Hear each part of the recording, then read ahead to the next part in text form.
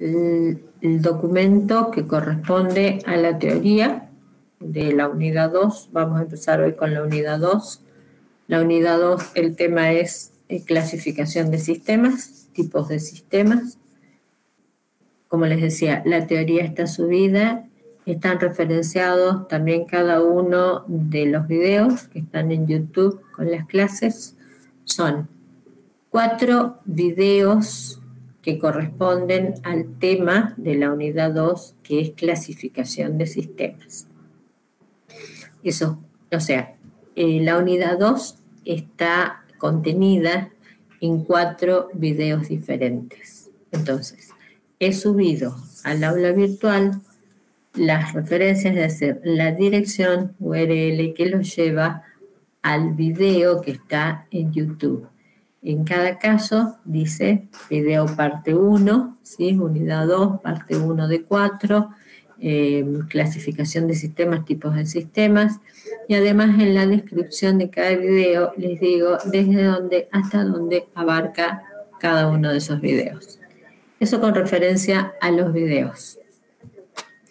Después eh, hay un tema que es particular, que es especial, eh, que tiene que ver con sistemas de información geográfica. Para sistemas de información geográfica, como es un capítulo aparte dentro de los sistemas, porque es totalmente distinto a lo que ustedes pueden haber visto hasta ahora o lo que van a estudiar de sistemas transaccionales, de tiempo real, etcétera, sistemas de, información geográfica es un apartado especial. Entonces, a sistemas de información geográfica le he dedicado tres videos donde se, explican los fundamentos básicos, ¿no? Lo básico, sistema de información geográfica es algo mucho más grande, más profundo, al que le interese el tema, la gente de sistemas que le interese el tema cuando lo vean, es una especialidad, incluso hasta dentro de la carrera, ¿no? Se ha convertido en una especialidad los sistemas de, de información geográfica. Bueno, entonces tiene la teoría, los videos de clase, es decir, de toda la unidad de sistemas de información geográfica y tienen además una actividad que realizar para esta unidad. Para esta unidad, eh, ustedes a esta altura tienen todos los grupos de la práctica ya formados. Entonces, esos de la práctica van a tener que realizar esta actividad.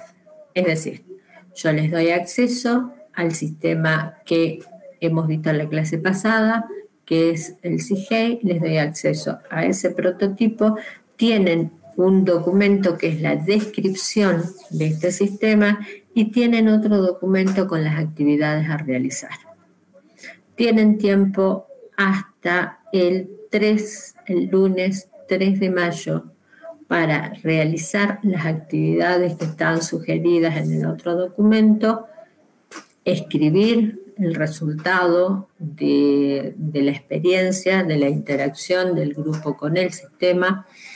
Eh, tienen que hacer una memoria, un detalle de, de lo que han experimentado con el sistema según los roles que se han asignado este, y enviarla al correo de la cátedra hasta el 3 de mayo, el lunes 3 de mayo.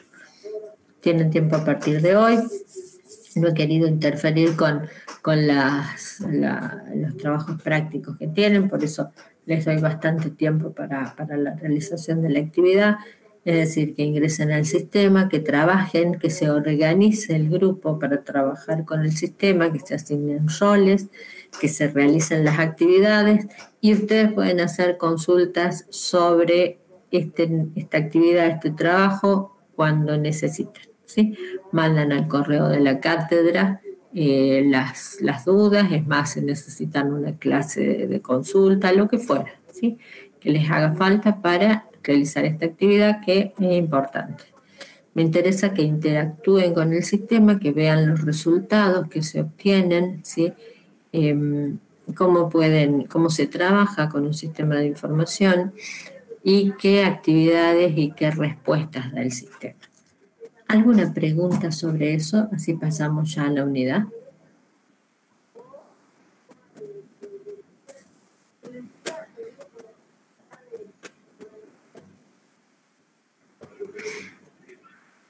¿Profe? Sí. ¿Cuál es la contraseña para ingresar? Porque me pide usuario y la clave, pero... Y, en, la, en el escrito está, ustedes pueden ingresar con estudiante 1, estudiante 2, estudiante 3. en el documento que les subo, que les propongo para las actividades, ahí está la clave y contraseña, es igual. La tienen que escribir ah, tal cual como está ahí. Estudiante 1, todo junto, sin espacios, con E mayúscula. Usuario y contraseña son idénticas. Nada más que para cada usuario hay un rol diferente. A lo mejor estudiante 1, ah, y les aclaro que no es una actividad optativa, ¿no? Es una actividad obligatoria. Todo lo que ustedes realizan de práctica durante el cuatrimestre, durante este primer cuatrimestre, las docentes de práctica llevan un, historial de cada grupo, sobre cómo se desempeñan las clases prácticas, sobre cómo desarrollan los trabajos prácticos, si están completos, si son correctos, si los entregan a tiempo, se lleva un, historial. De acuerdo al desempeño que ustedes tienen durante el cuatrimestre en la parte práctica, eso suma ¿sí? para la nota del parcial. Eso, todo ese historial se tiene en cuenta al momento de ponerles la nota en el parcial.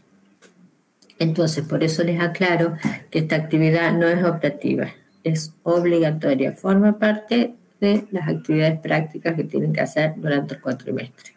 Con respecto al usuario, les decía que tienen diferentes usuarios, estudiante 1, estudiante 2, estudiante 3. Cada uno de estos usuarios tiene un perfil distinto en el sistema. Estudiante 1 a lo mejor puede ser un empleado de compras, entonces va a tener acceso únicamente a compras. Ustedes no van a ver el sistema como lo vimos la vez pasada, así completo. Solo aquel que es administrador tiene la visión del, sistema completo y si no, cada, cada, cada usuario tiene un perfil diferente con permisos y accesos diferentes. Eso es lo que tienen que organizar en el grupo, ¿sí? ¿Quién va a tomar el rol, por ejemplo, de empleado de compras, de empleado de, imputaciones? ¿Quién va a tomar, ¿Qué roles van a asumir? Para eso van a tener que ingresar con los diferentes usuarios, eh, observar el sistema, leer el documento de descripción del sistema, interactuar con las funciones, entenderlo y recién después organizarse para ver qué, datos van a cargar y poder analizar los resultados. Eso es lo que pretendo, ¿sí? que analicen los resultados. ¿Alguna otra pregunta?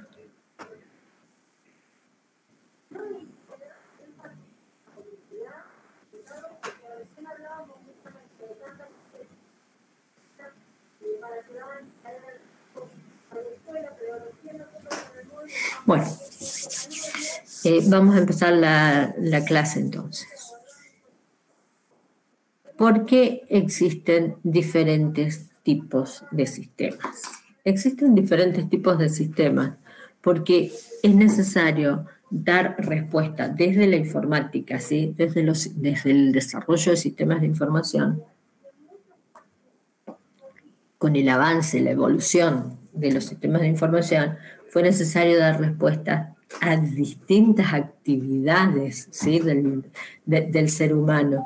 La informática ha ingresado en todos los aspectos de la vida del ser humano. Eso gracias a la evolución tanto del software como del hardware. Entonces, a medida que evoluciona, se especializa. ¿sí? Más evolución hay, más especialización hay. Y como les digo, hemos ingresado en todos los aspectos de la vida del ser humano.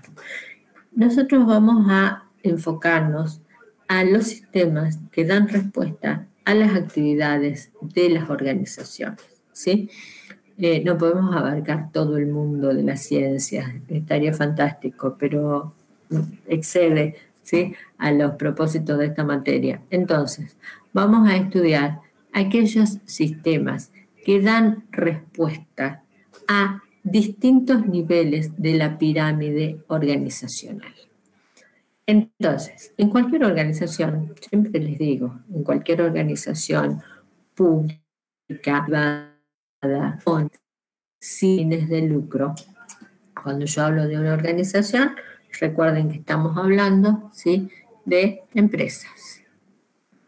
Empresas, organizaciones de todo tipo, como les decía, públicas, privadas, con sin fines de lucro, todas responden a una estructura, ¿sí? a una organización eh, de, estructura jerárquica.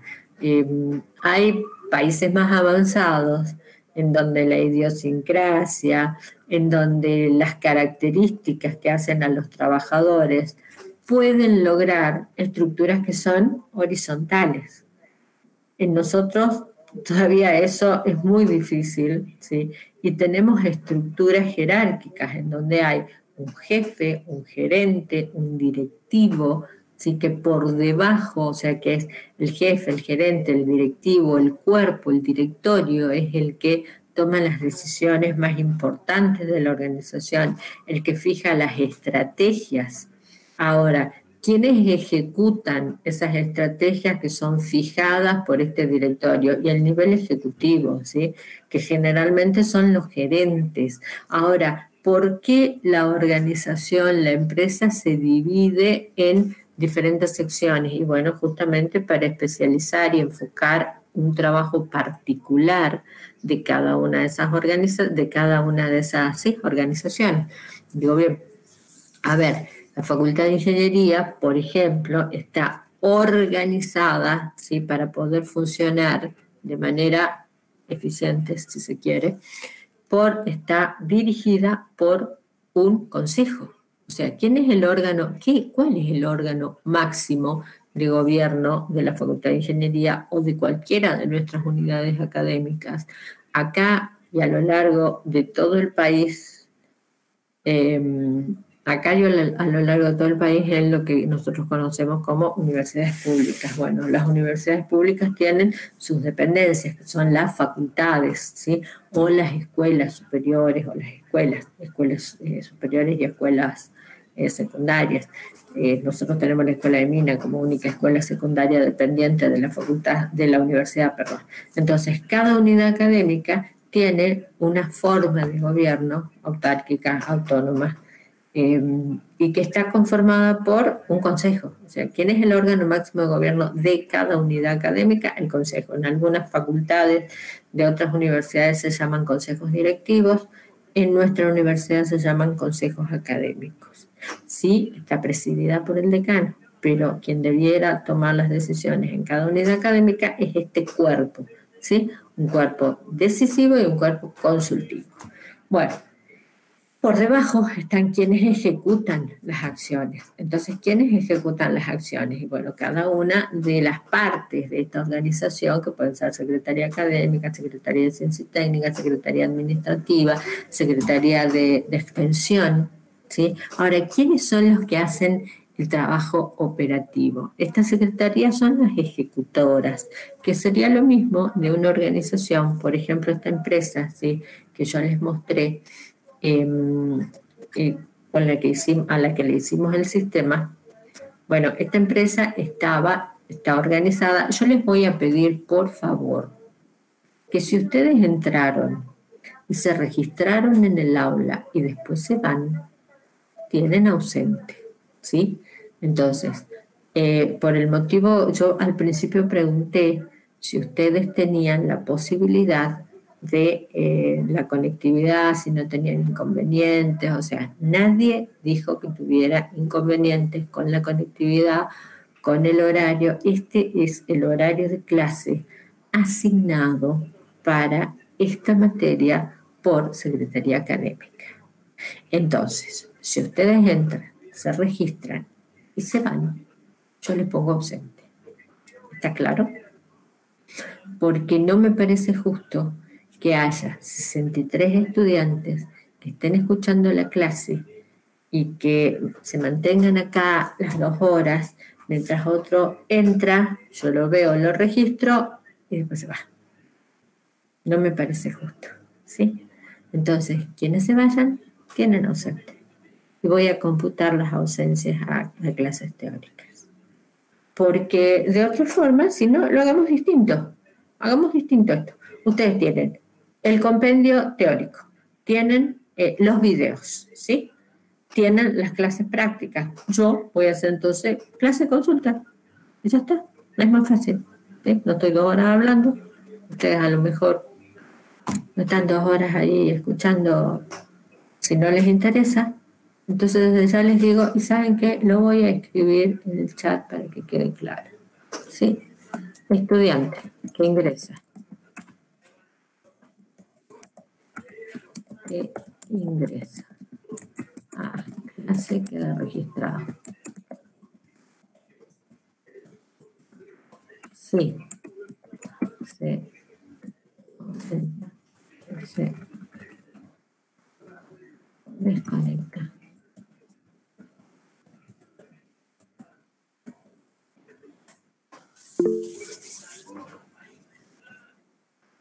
Bien. Entonces, decíamos que nosotros vamos a estudiar aquellos sistemas que dan respuesta a determinados, o a cada uno, vamos a decir mejor, a cada uno de los niveles de la pirámide. Y estábamos hablando de la pirámide organizacional. Miren, yo voy a compartir pantalla y les voy a mostrar el... Les voy a mostrar el apunte.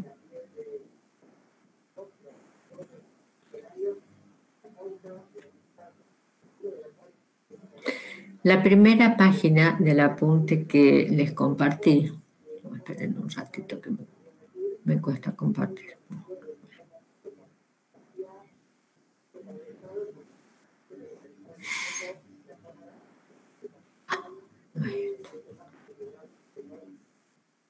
La primera página del apunte que yo les compartí muestra una pirámide, una de tantas, ¿sí? En donde dicen que la, eh, ¿se, ¿se, puede ver? ¿Se ve en la pantalla? Sí, profe. Gracias. Entonces, la parte superior de esta pirámide muestra que en este lugar, por eso les digo que es jerárquico, ¿sí? es, es por jerarquía, que en este lugar se ubica, en este lugar de la pirámide, se ubica el nivel estratégico. ¿sí? Acá están los directorios, el presidente de la compañía, porque a lo mejor a veces no hay un directorio, no hay un cuerpo directivo, sino hay una sola persona. ¿sí? Este es el que planifica el que define y planifica la estrategia de la organización. Que luego, yo no estoy de acuerdo con este nivel administrativo, yo acá para mí es nivel, nivel jerárquico, ¿sí? No, no, es, la pirámide que más me convence, bueno, pero acá hay un nivel administrativo, un nivel de conocimiento, ¿sí? que es el que, el que adquiere el conocimiento para poder bajar las directivas al nivel operativo, que son las personas que realmente ejecutan la tarea. A ver, vamos a suponer que el CAFI, vamos a tomar, ¿por qué tomo la facultad? Porque es la organización donde ustedes están y supongo es la que más conocen. Entonces, vamos a suponer que el CAFI, el Consejo Académico de la Facultad de Ingeniería, decide que se va se va a aceptar la figura y una figura que en esta facultad no está considerada, que es la del auxiliar alumno, el auxiliar de segunda, que de donde yo vengo, de, la facultad donde yo me recibí, nosotros podíamos ser auxiliares alumnos. Eh, acá no está, está el ascripto. El ascripto es ad honorem, nosotros éramos rentados, bueno, es distinta la figura. Pero bueno, vamos a suponer que este, el Consejo Académico de la Facultad de Ingeniería dice que ahora todas las cátedras deben contar con un, em, deben contar con un auxiliar alumno.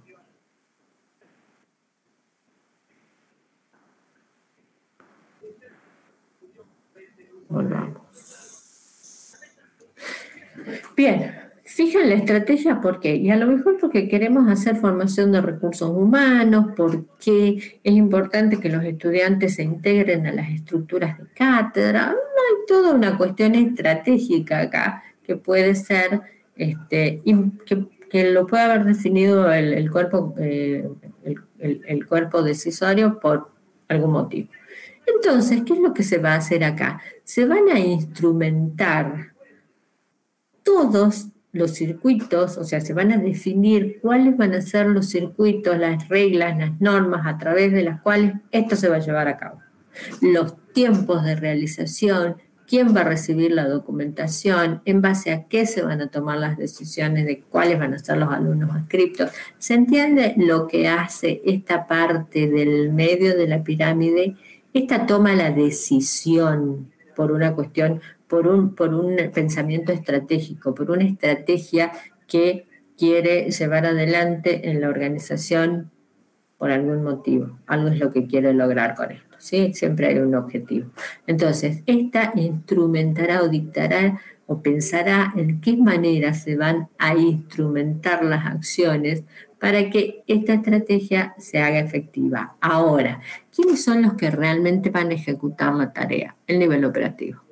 ¿Quiénes van a recibir la documentación, la van a archivar, la van a, eh, van a hacer que se cumpla determinado circuito administrativo? Entonces, como no todos los niveles de una organización, y justamente para eso son los niveles, realizan las mismas tareas, no todos los niveles necesitan, trabajan con los mismos datos o necesitan la misma información. ¿Qué para este ejemplo que yo les acabo de dar, a ver, yo les voy a decir qué necesita el nivel operativo. Ustedes me dirán, por favor, si quieren que esto sea más dinámico, ¿Qué necesitan los otros niveles? A ver, yo les digo que para el ejemplo que acabo de plantear, el nivel operativo necesita conocer exactamente cuál es la normativa para poder seguirla. Necesita conocer la normativa. ¿Qué significa? Necesita saber qué documentación se tiene que recibir, quién va a recibirla, ¿Qué hace con esa documentación? Se archiva, se pasa, se traspasa y durante qué periodos hay, que, hay que hacer la recepción. esa es la información, los datos que va a manejar y la información que necesita para poder trabajar el nivel operativo. Ahora, alguien me dice qué información y con qué tiene que trabajar el, el nivel administrativo o el nivel administrativo y el nivel de conocimiento, o para mí el nivel ejecutivo. Nivel administrativo, yo para mí en el nivel ejecutivo, ¿no? El nivel ejecutivo y el de conocimiento, ¿qué información necesita o con qué datos va a trabajar? Para poder, el objetivo es que se inscriban en cada cátedra unos, por lo menos un auxiliar alumno, para poder desempeñarse en la cátedra, ¿no? Obviamente como ayudante de, cátedra.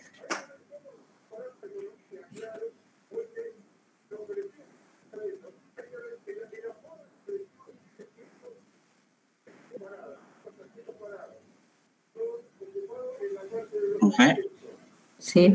El ejecutivo eh, daría la idea de que, porque es el que maneja la idea de, por ejemplo, de buscar a los eh, alumnos con mejor promedio salió con mejor promedio para, para, para justamente eh, estar en esa posición de, de, maestro auxiliar?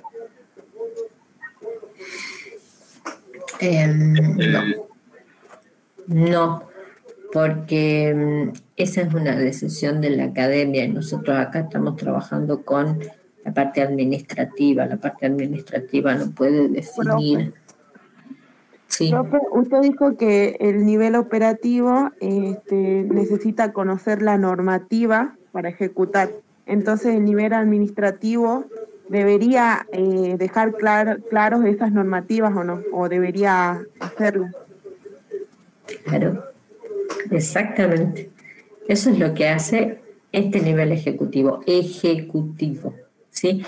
A ver, el nivel de, bueno, me piden que repita la pregunta. A ver, el caso es que el, Consejo, que es el órgano máximo de gobierno, ha definido La estrategia es, la estrategia, o sea, la, estrategia es que los estudiantes, el objetivo es que los estudiantes se integren a las cátedras para formarse en las cátedras, en las diferentes cátedras.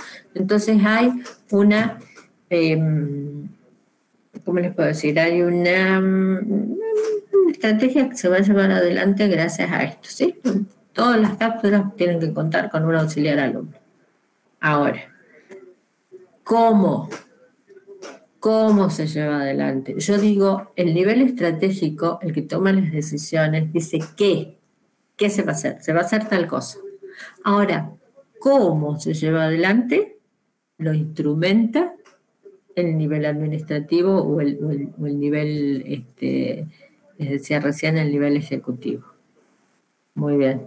Natalia me dice que el nivel ejecutivo es el que tiene que dictar las normas para que el nivel operativo sepa cómo va a trabajar. ¿sí? Exactamente de eso se trata. Sí, era bastante simple. Ahora, entonces... O sea, estamos tomando solamente como dos niveles, digamos. Digo, porque sigo viendo el tema de nivel estratégico y administrativo, y el, estarían unidos, digamos, y el conocimiento con el operativo también, por otro lado. No, para, no, para mí están unidos el nivel administrativo con el de conocimiento. El nivel estratégico está bastante más allá, bastante más arriba, es el que define la estrategia, ¿sí? ¿Para qué? Para, ¿Las estrategias para qué? Y las estrategias, por ejemplo, en, términos de mercado, las estrategias para que una organización sea competitiva, se mantenga en el mercado, sobre todo en estos tiempos ¿no? De, pandemia, la estrategia es lo más difícil de, definir. Es decir, ¿qué tengo que hacer para lograr determinada cosa? ¿Qué tengo que hacer en estos tiempos de pandemia ¿sí? para eh, lograr ventas, por ejemplo? es, es pensar la estrategia, ¿qué tengo que hacer? Ahora, ¿cómo la llevo adelante? Bueno, para eso necesito este nivel. Yo defino qué. Este nivel, el administrativo de conocimiento, insisto que para mí se unen en, un nivel de, de, este, llevar adelante las cosas, de ejecutar en un nivel ejecutivo. Este es el que define, por eso tienen que estar muy, muy comunicados, ¿no? El nivel ejecutivo tiene que interpretar correctamente la estrategia para poder definir las normas, los procesos, cómo se va a llevar adelante para decirle al nivel operativo cómo tiene que realizar su tarea. El nivel operativo lo único que hace es acatar las órdenes, las directivas, las normas, aprender cuál es el proceso o el circuito y llevarlo a cabo. Esa, es la forma en que, en muy general, por supuesto, en la que trabaja una organización. Ahora, si tenemos diferentes actividades, los sistemas que nosotros solicitemos, que compremos o que pidamos que se desarrollen, tienen que ser necesariamente distintos o darnos diferente información porque no necesitamos la misma, porque no necesita, cada nivel no necesita la misma información. ¿Por qué? Y porque trabajan en actividades diferentes. ¿Estamos? ¿Eso se entiende?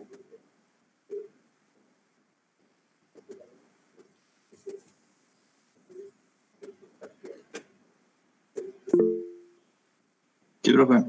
Bien, si hay alguien que no interpreta esto, lo vuelvo a explicar. Mire, vamos a empezar. Eh, si hay alguien que no lo interpreta, lo, explico de nuevo porque ahora ya entro con los sistemas transaccionales.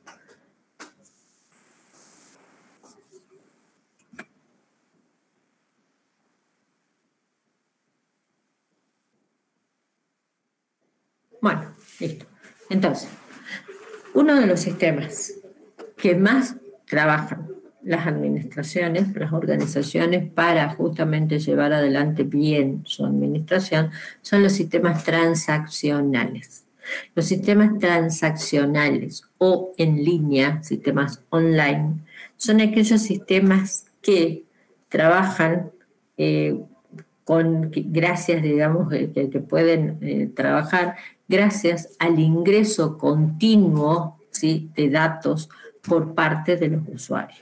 Entonces, en ese tipo de sistemas, el usuario está en contacto directo con el sistema, está alimentándolo continuamente de datos.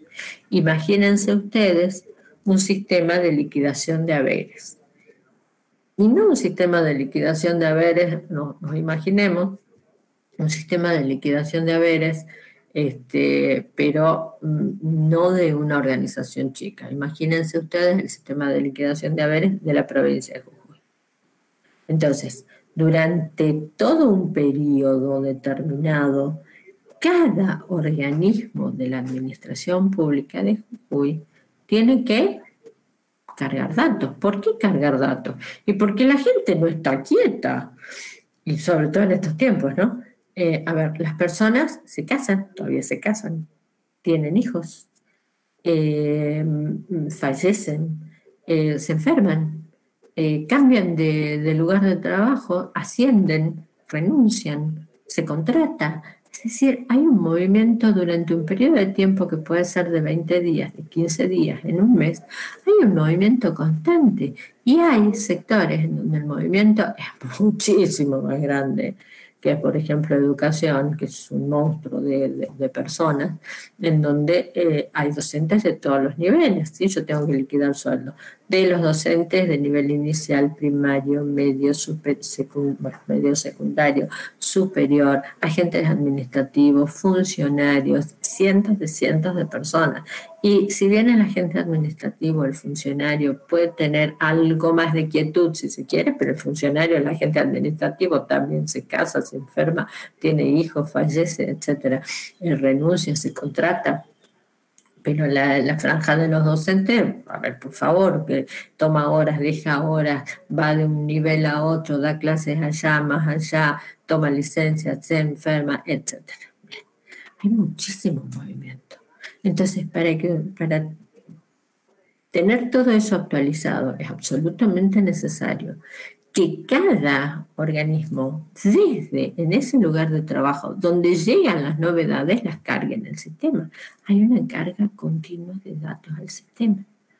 Ahora, este sistema de liquidación de haberes, ¿qué va a hacer? Va a tomar todas las novedades del mes, va a tomar toda la base de personal que tenga, va a cruzar esos datos, va a tener en cuenta todas las leyes que hacen a las liquidaciones de sueldos. No es lo mismo liquidar los sueldos para el Ministerio de Salud que para el Ministerio de Hacienda, que para el Ministerio de Educación. Va a tomar todas aquellas, aquellas reglamentaciones, aquellas leyes que hacen que les descuenten, les sumen, les den adicionales, etcétera, les computen el, sueldo por antigüedad. Es decir, va a hacer todo eso, va a tomar todo eso y como resultado va a emitir ¿sí? los recibos de sueldo para cada, cada uno de los agentes de determinado de cada uno de los ministerios, de cada una de las dependencias.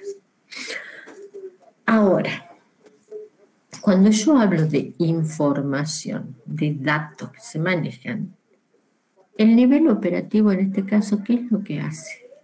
Carga los datos de las novedades. El nivel, de, el nivel de, de decisión jerárquica, el nivel jerárquico, ¿qué es lo que hace? Ejercerá un control sobre eso, ¿sí? Es el que dicta, habíamos dicho, dicta las normas, las leyes. Bueno, ejercerá un control sobre eso diciendo, a ver, cada dependencia tiene que mandar sus datos del tanto al tanto de cada mes. Cada dependencia recibirá los recibos, no sé, se le enviarán los recibos por web o podrá sacar los recibos de la web o etcétera. Ahora, ahora, Ustedes imagínense, a ver, el Ministerio de Hacienda, que es el que paga los sueldos en la provincia, el contador general de la provincia, el ministro de Hacienda, cuando tiene que rendir cuenta a Nación sobre los fondos, no sé cuánto, qué se pagó, ¿ustedes qué creen que necesita? Necesita conocer cuánto se le pagó a cada empleado de la provincia cuánto o qué cobra cada empleado de la provincia. Eso necesitará el ministro de Hacienda. el nivel de detalle de, eh, no sé, empleos públicos en la provincia de, más de 100 el detalle de, de recibo por recibo.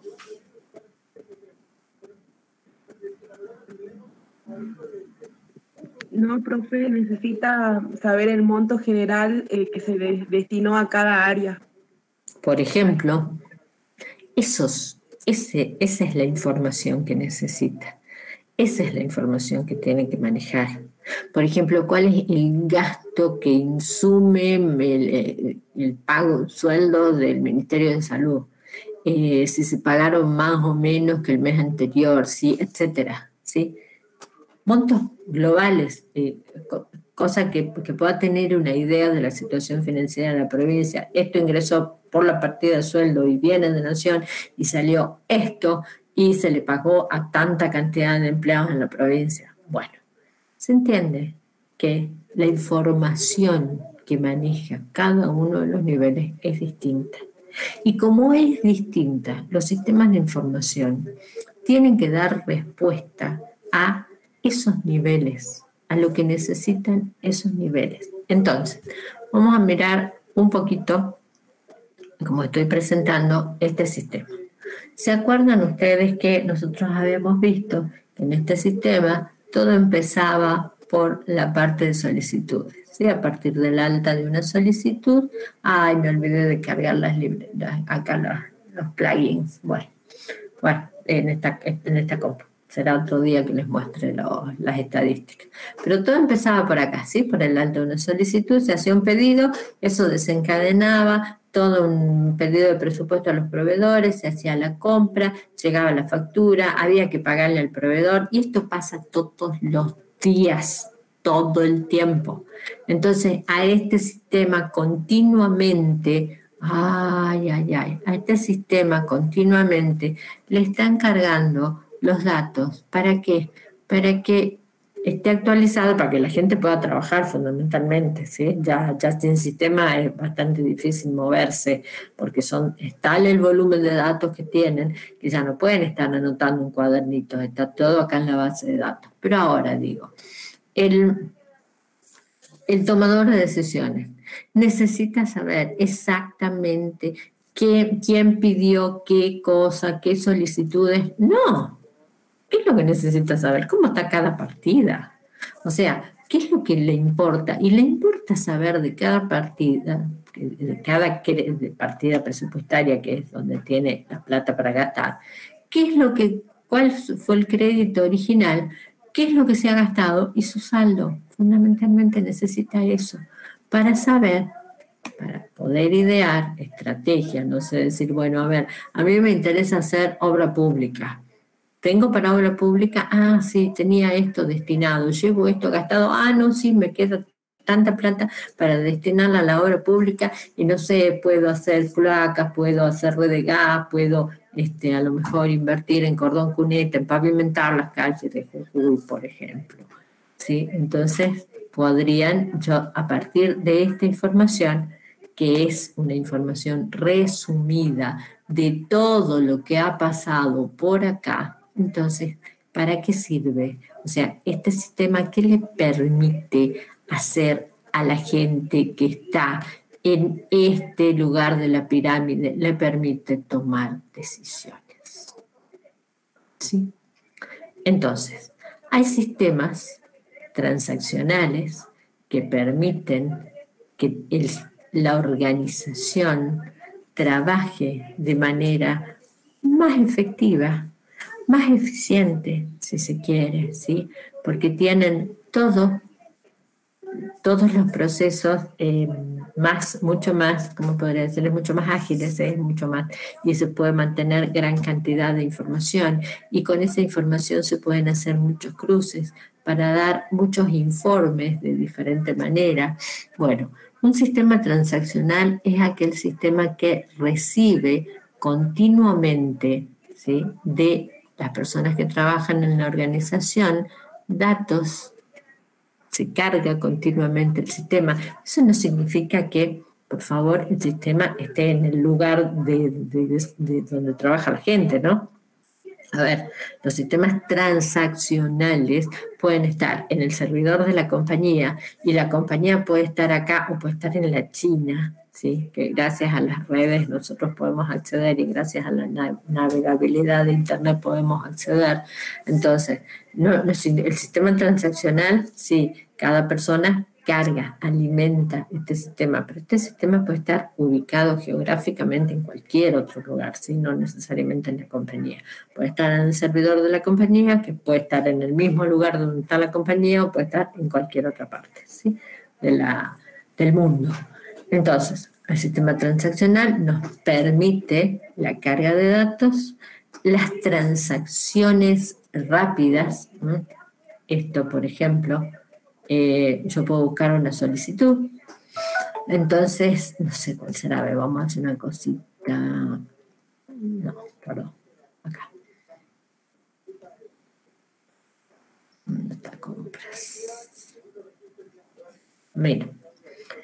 ¿Cuál es la, ventaja de este tipo de, o sea, ¿por, qué se hacen además estos sistemas? Bueno, porque tengo la posibilidad de guardar gran volumen de información y también tengo la posibilidad de ubicar o de encontrar ¿sí? algo que necesito inmediatamente sin tener que ir a buscar en archivos, registros, en, a ver, en, archiveros eh, que están en fichas, cuando el volumen de información que tengo guardada es, grande, eh, me va a costar mucho encontrar algo. Entonces, es mejor tenerla en un repositorio seguro, ¿sí? Y encontrarla, por ejemplo, de la forma que yo acabo de encontrar esta solicitud. A ver, ¿qué pasó con la solicitud 129? El jefe me llama, el jefe de compra me llama y me dice, ¿qué pasó? Que no compraron la netbook. Eh, ay, yo no me acuerdo dónde estaba. Entonces, ¿qué era? Ay, ¿quién me puede haber pedido el número de solicitud de la 129? ¿Por qué no la, no la compraron?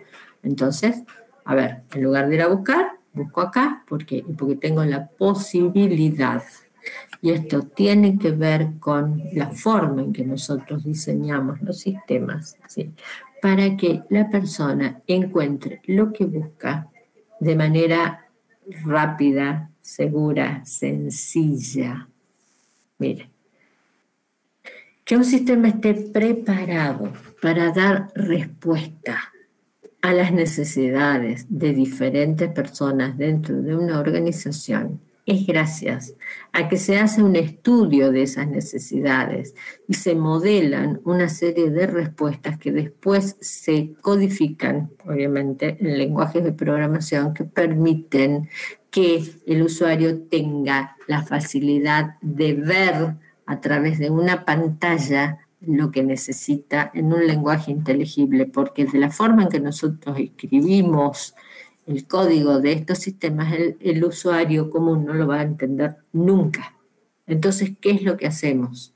Nosotros les ponemos a ustedes adelante ¿sí? una interfaz. Esto se llama una interfaz humano, una interfaz para el humano.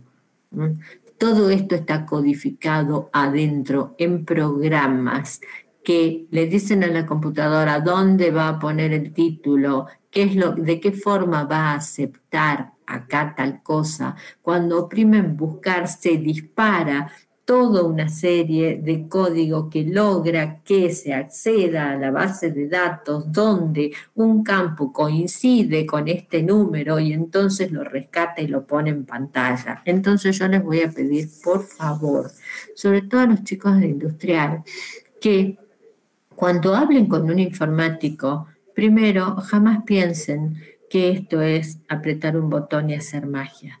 Detrás de esto, detrás de esto, hay meses de relevamiento y de trabajo con la gente. Hay meses de modelado y de diseño y hay meses de construcción para dar las respuestas que el usuario necesita es mucho trabajo, no hacemos magia, Entonces, les voy a pedir que sean respetuosos también del trabajo del otro, de la misma forma en que nosotros somos respetuosos del trabajo de ustedes, que sean respetuosos, porque yo no me animaría a decirle a ninguno de ustedes cómo debiera diseñar un proceso de fabricación o cómo debiera ejercer el control en un proceso de refinerías, no sé, o de lo que fuera, porque no estoy ni capacitada ni conozco. Que tenga alguna idea sobre procesos no me hace a mí este, especialista en procesos y mucho menos en lo que a ustedes les compete. Entonces, ustedes van a trabajar en forma, eh, ya están trabajando, ¿no? En forma interdisciplinaria. Entonces sean respetuosos del trabajo del otro, porque no hay ningún botón mágico que haga magia en los sistemas. Ni tampoco, eh, a mí me molesta, pero me molesta de sobremanera, no les puedo explicar cómo me molesta.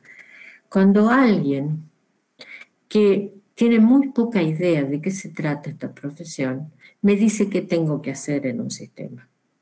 ¿Por qué no pones un campo que me acepte tal cosa? No, no es cuestión ni de poner campo. ¿Por qué no me pones una pestaña ahí que abre y me, deje ingresar tal cosa? ¿Por qué no me... Yo no le digo al médico, ¿por qué no me recetas aspirinas porque me duele la cabeza? Él verá que me receta, para eso he estudiado.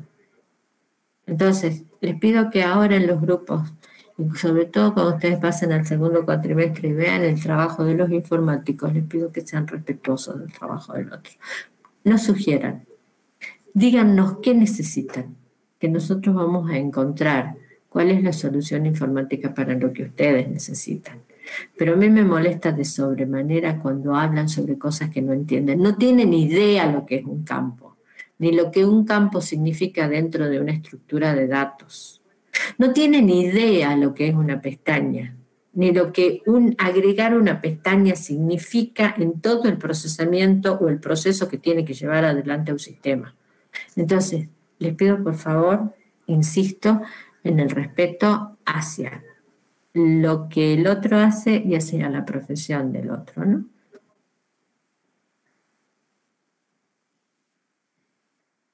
un minutito que me está queriendo entrar alguien. Ahí está. Bueno, ahí estamos. Bueno, después de que les pedí, les expliqué de qué se trata esto, les pido que por favor, este, insisto, sean respetuosos. ¿sí? Em, esto, fíjense, como es necesario, em, ¿qué es lo que queremos? Y nosotros queremos que esta persona encuentre lo que está buscando. El sistema transaccional es así. A ver, continuamente ingresa datos, pide informes, hace búsquedas. De eso se trata. Hace transacción continuamente es... No sé por qué no entra. Hay una transacción continua, por eso se llaman sistemas transaccionales. Entonces, ¿qué es lo que nosotros queremos? Queremos que encuentre que el sistema le dé respuestas a lo que necesita. Bueno, eh, y estás buscando una solicitud, pero a lo mejor no se acuerda el número de solicitud. Bueno, pero me acuerdo la fecha, o no me acuerdo la fecha exacta, me acuerdo el, rango de fechas, o, o bueno, quiero buscar todas aquellas solicitudes que ya fueron imputadas a una partida presupuestaria o quiero buscar eh, el, informe en la sección compra o quiero ver únicamente mis solicitudes, las que yo hice. Acuérdense que cuando yo entro me logueo, ¿no? Como usuaria del sistema. Entonces el sistema, no el sistema, nosotros hacemos que el sistema tome los datos del usuario, diga dónde está trabajando. Entonces cuando digo buscar mis solicitudes, me va a dar únicamente aquellas solicitudes que hice yo Miren, ¿qué hice yo? Le estoy ofreciendo al usuario a todas las posibilidades para que encuentre lo que busca.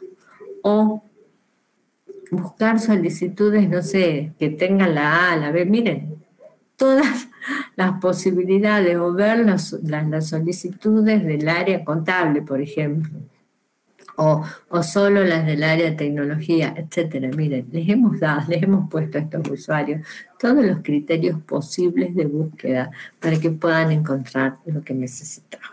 ¿Sí? Bueno, además de la interacción continua, un sistema transaccional recibe ¿sí? los datos, o sea, el, usuario puede ingresar los datos en el lugar donde está, el sistema los recibe donde estará, en, la nube, en un servidor, cerca, lejos, no importa, los recibirá, los procesará de manera inmediata, procesa absolutamente todo, porque miren, yo no tengo que esperar nada, y esa es la idea, ¿sí? No tener que esperar absolutamente nada para encontrar lo que estoy buscando. Bien. Em, los sistemas transaccionales dan respuesta, sobre todo, miren, no, siempre, no siempre, pero sobre todo dan respuesta tanto a, la, parte operativa de la pirámide, porque la gente está cargando continuamente, la gente contable está cargando todas las imputaciones, está cargando todas las facturas que han llegado de proveedores, el encargado de contable va a poder ver todas las facturas de los proveedores y también sirven, como en este caso, sin que llegue a ser este un sistema de, para la toma de decisiones, ¿no? Pero también sirve, le sirve a la gerencia para tomar decisiones. Bien. Digo, em, hasta acá, sistema transaccional, ¿está claro?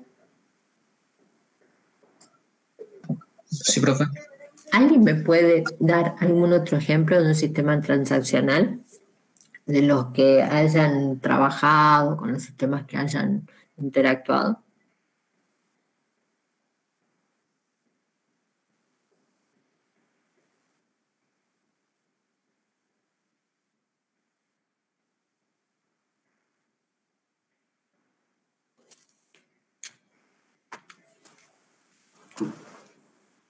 ¿El sistema transaccional funciona en los cuatro niveles?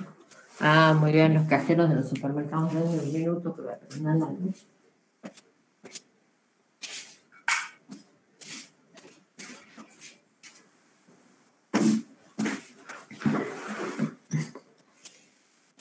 A ver, no necesariamente los sistemas transaccionales ¿El sistema transaccional funciona en los cuatro niveles o es el más adecuado para el nivel operativo?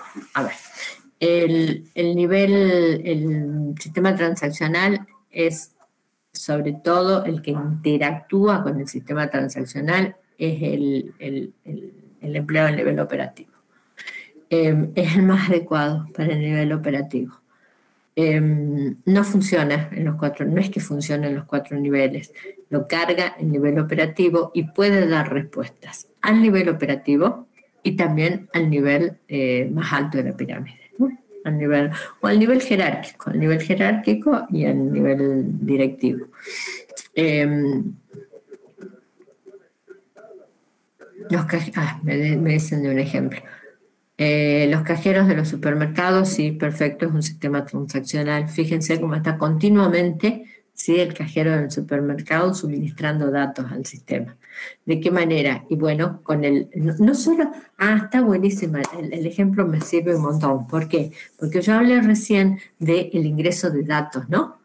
Eh, eh, ah, del ingreso de datos eh, estaba mostrando el ingreso por teclado. El ingreso de datos puede ser no necesariamente por teclado. El ingreso de datos en el cajero del supermercado es a través del lector de código de barra. Entonces, al pasar el código de barra por el lector, este código de barra se transforma inmediatamente ¿sí? en, datos que, pasan al, al sistema de facturación. ¿Cómo se traducen? Y bueno, este lector de código de barras toma las barras, esas barritas tienen cada una una codificación determinada para decir que esto se trata de aceite de 900 mililitros de este, tal marca eh, de girasol eh, y que el precio unitario es de, no sé, 300 pesos. Este código de barras al, ser leído, traduce, se traducen adentro del sistema todos estos datos, eso se pone en la facturación que se está llevando a cabo e inmediatamente se decrementa del stock una vez que la facturación ha sido efectiva. Entonces, en la toma de datos a través del lector óptico, nada más. Del lector, perdón, no es lector, sí es óptico, pero es lector de, de código de barra. Sí, los cajeros del supermercado sí, están continuamente alimentando, ¿para qué? Para hacer una facturación, ¿sí? Acuérdense que les preguntan siempre si necesitan factura común o factura A, porque son dos procesos distintos, uno con IVA, otro sin IVA, este, digo, sin el, detalle del IVA, este, y, y además hacen, el, en cuanto se hace efectiva la facturación, no antes, en cuanto se hace efectiva la facturación, decrementar el producto del stock. Sí, el CIPRAP. El CIPRAP es el sistema de asistencia ¿no? de la provincia, sistema donde se registra el sistema de personal, sistema de personal, el sistema de, la asistencia, sí, es un sistema transaccional. El SIU, sección alumnos de la facultad, no, sección alumnos de la facultad, y eso no confundamos, sección alumnos de la facultad es una sección. Forma parte de, una estructura organizacional, no es un sistema. Eh, el SIU sí, el SIU es un sistema y es un sistema transaccional, totalmente transaccional. ¿sí? Las, todas aquellas transacciones o todos aquellos datos son tomados seguramente de diferentes partes de diferentes lugares, son alimentados de diferentes partes y nos dan resultados tanto para ustedes, ¿sí? cuando piden datos, por ejemplo, un analítico, y también dan una buena cantidad de información porque tienen una buena cantidad de datos a los tomadores de decisiones. Sí. Los cajeros automáticos. Sí, perfecto. El cajero automático. Ustedes ingresan al cajero automático y lo primero que tienen que poner es su identificación, ¿sí? Una tarjeta. A partir de ahí comienzan a interactuar con el cajero. Fíjense, y ahí, ahí me da los, sistemas, el sistema bancario también. Eh, ahí me dan lugar para que hable de estados. A ver, ¿qué es lo que modelamos los informáticos? Los informáticos modelamos estados en los sistemas. Entonces, el primer estado de un cajero, ¿sí? porque son sistemas que están funcionando, debieran, pero están pensados para estar funcionando 24 horas, 7 días a la semana, 365 días al año. Son sistemas, cuando no funcionan es porque se cayeron, ¿sí? porque hubo algún problema de comunicación, de lo que fuera. son sistemas que están modelados, construidos para funcionar de esta manera. Entonces, ¿cuál es el primer estado de ese sistema? Eso es lo que modelamos. El sistema está en espera. Fíjense, está, está ahí. ¿Hasta cuándo? Hasta que ingresa alguien con una tarjeta.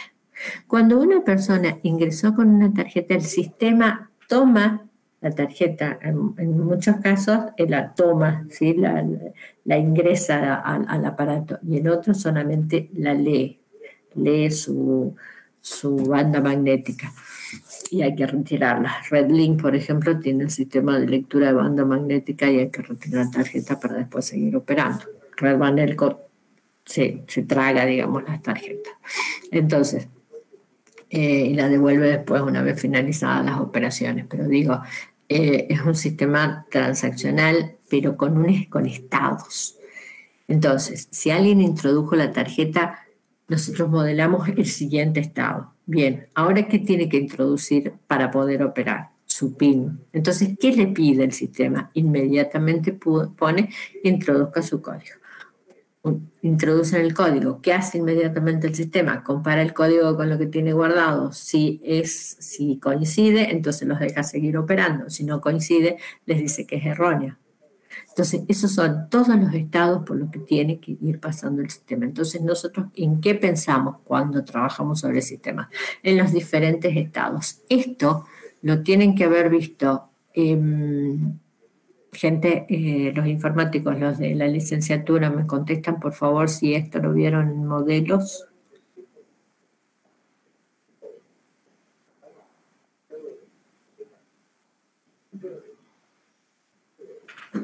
De los estudiantes presentes, ¿quiénes son los de la licenciatura? Sí, lo vimos. ¿Ah? Sí, lo vimos en la materia modelo.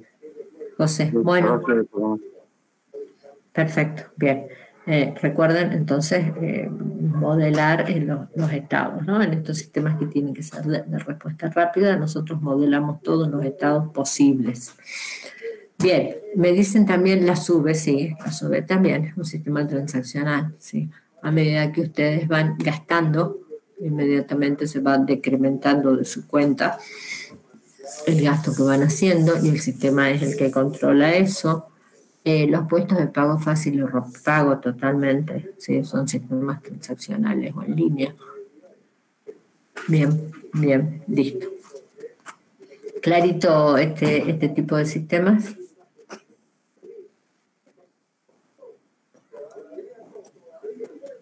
Vamos a trabajar, vamos a, hablar sobre el otro sistema. El, el, otro sistema que se les presenta en la teoría, acá está la clasificación, ¿no? A ver, puede haber, sigo presentando, ¿no? Se ve, se ve la, la pantalla.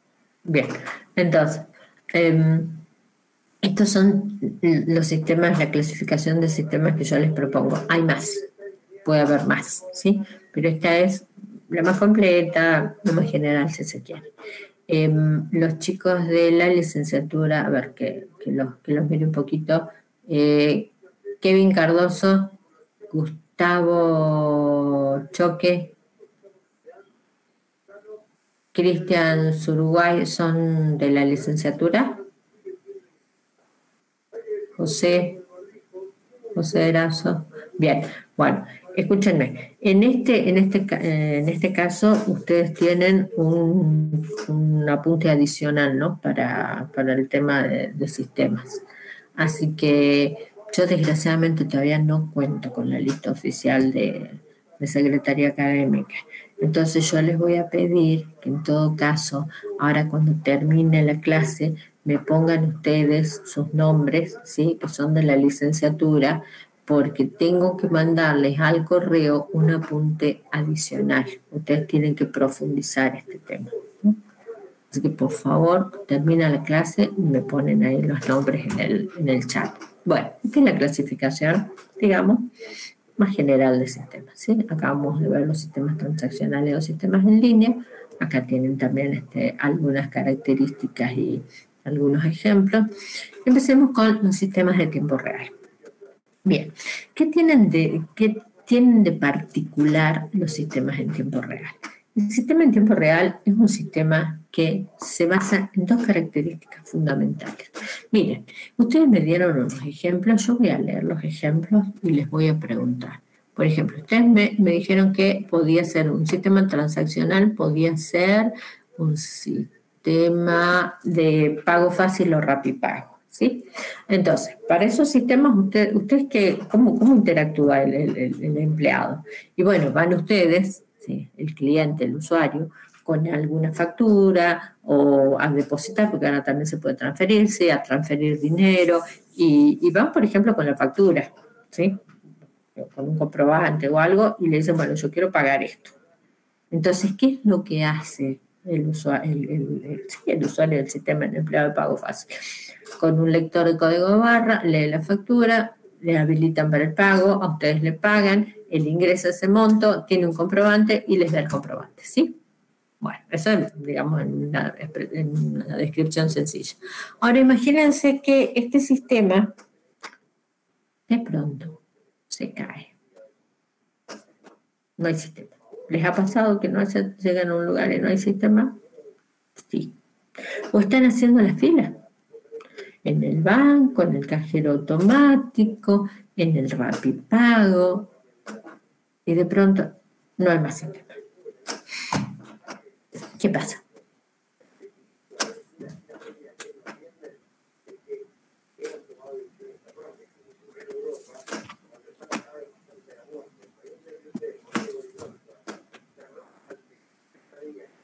No me atienden, no me atienden. Dice, sí, bueno, pero a ver, hay una catástrofe.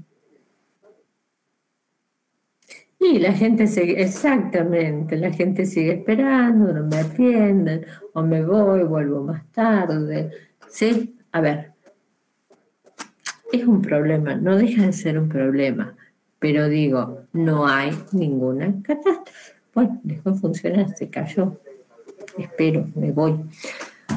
Los sistemas en tiempo real trabajan bajo condiciones mucho más estrictas. Entonces, los sistemas en tiempo real no admiten ni el error, o sea, no admiten ni la, ni la detección de, detención, ni que se detengan sus funciones, ni muchísimo menos que estos sistemas por algún problema den algún error. Ni el error, ni la respuesta, digamos, ni, no, no admiten que no exista velocidad en la respuesta y no admiten el error. Imagínense que ustedes, a ver, no sé si alguna vez les ha pasado en el cajero, ¿sí? en el cajero del, supermercado, llevaron un producto, lo vieron en la góndola que costaba 300 pesos y cuando pasa por la, caja cuesta 350. Hay un error. ¿Les ha pasado? Supongo que sí, a todos nos ha pasado alguna vez. ¿Y qué hacen ustedes? Bueno, reclaman, si se dan cuenta, si tienen la suerte de darse cuenta, reclaman. ¿Qué hace la cajera? Llama a la supervisora, la supervisora anula ¿sí? ese, ese registro de la factura y bueno, si ustedes quieren lo llevan y si no, si no les, cargan el, valor que está en la góndola, que es lo que corresponde. Bueno, a ver, ¿hubo una catástrofe? No. ¿Se pudo solucionar el problema de manera inmediata sin demasiado, sin demasiada, sin demasiada consecuencia? Sí. Entonces, son sistemas transaccionales. Se pueden pasar estas cosas. Ahora, cuando se trata de sistemas en tiempo real, estas cosas no pueden pasar. ¿Por qué? Porque los sistemas de tiempo real, la mayoría, trabaja se desempeña en ambientes duros. A veces puede haber que este, trabajen en ambientes blandos, pero no es tan tan común. El sistema en tiempo real son sistemas que el, el usuario interactúa poco o nada con el sistema. Poco o nada. No son sistemas que están recibiendo continuamente la carga de datos de parte del ser humano. No. Son sistemas que, por ejemplo, controlan Hoy tenemos nosotros lo, el software, lo que llamamos software embebido, ¿sí? programamos placas eh, que funcionan como una computadora, son computadoras en, miniatura, programamos placas para que estas placas controlen máquinas, controlen procesos, entonces eso se llama software embebido. Bueno, em, son sistemas que trabajan tomando, eh, tomando estímulos del proceso, por ejemplo, van tomando los valores de los sensores. Nosotros hicimos en la cátedra hace dos años atrás em, todo el control de proceso de la, de la, fabricación de cerveza artesanal. Eso lo presentamos en el quincho del rectorado. Cada grupo tomó diferentes partes del proceso de la fabricación de cerveza artesanal y con software embebido controló ese proceso. Por ejemplo, había un proceso de macerado, había un proceso de molienda, había otro proceso de molienda del grano, ¿no? de la cebada, había un proceso de control de temperatura, eh, es más, el proceso de la molienda también estaba controlado, el proceso del envasado, o sea, se hicieron para cada uno de los procesos diferentes sistemas. Los chicos programaron las placas Arduino para que se conectaran ¿sí? con la máquina y pudieran controlar el trabajo de esa máquina. Entonces, ahí, ¿qué es lo que se hace? Se hace lectura de sensores, por ejemplo. ¿sí? No hay una carga de datos por parte del usuario. Se leen, se toman las diferentes lecturas y gracias justamente a la comparación que pueden hacer con estándares, se sabe si la máquina está realizando el proceso correcto para pasar al siguiente proceso y a controlar el siguiente proceso. Entonces puede haber a lo mejor un software que administre cada uno de estos procesos y pueda ir controlando y tomando los datos de uno por uno y para de esta forma ir controlando y sabiendo si el proceso se está realizando en forma correcta. Ahora, no hay ingreso de datos, sí hay control y a veces hay, esos controles tienen que ser muy, muy rápidos, ¿sí? a una velocidad muy alta y no se admite el error. ¿Por qué?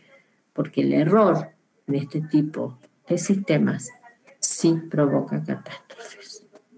Un sistema que está guiando la, eh, eh, por ejemplo, el piloto automático de, un el piloto automático de un avión. El piloto automático de un avión es software. El piloto automático de un avión tiene que saber exactamente la ruta por la que debe ir ese avión. Un error en ese sistema y se provoca una catástrofe. Y la catástrofe tiene enormes consecuencias. Puede acabar con la vida de cientos de personas. Entonces, por eso no se admite el error y por eso las respuestas tienen que ser sumamente rápidas. En el tiempo que este, el proceso necesite que esas respuestas sean dadas. Un control sobre, no sé, en industrias, un control, un sistema de control de refinerías de petróleo, un sistema de control de temperaturas en algún proceso, un sistema de, de lanzamiento de, misiles, un sistema de satélites en órbita de, que controlan la órbita de los satélites, un sistema de de control de pacientes terminales. Ustedes vieron que se, los, se les ponen los, los sensores en el cuerpo y esos, esos sensores van, van largando una serie de datos hacia el sistema que van controlando, por ejemplo, los signos vitales. Esos signos vitales se traducen en gráficos, en pantallas que puede ver eh, la persona que está capacitada para entenderlo.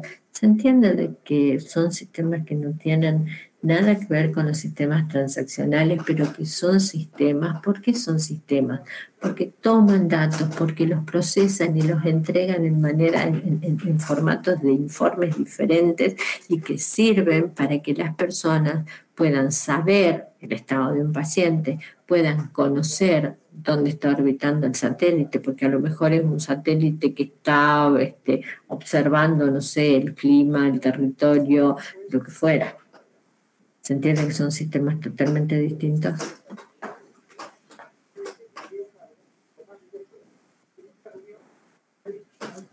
Bien, ¿alguna pregunta?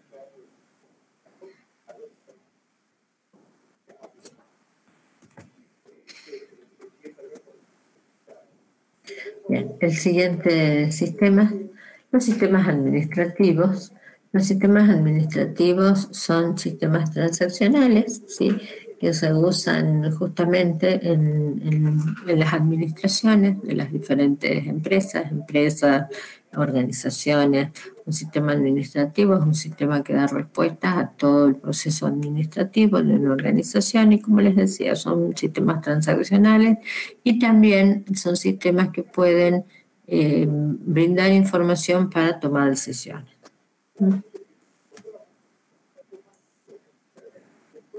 Eh, Efraín me pregunta, ¿un sistema de control de un paciente de terapia intensiva? Sí, sí. Un sistema de, en tiempo real, sistema en tiempo real. Ese, por ejemplo, este que me acabas de dar como ejemplo, este, este sistema es un, sistema que trabaja en un ambiente duro. Es decir, una desviación en, los resultados, un error en los resultados, una demora en el envío de resultados a la pantalla y las consecuencias son graves. Entonces, este tipo de sistema trabaja en ambientes muy duros, donde no, está, el, error no, no, puede, no puede haberlo, no puede.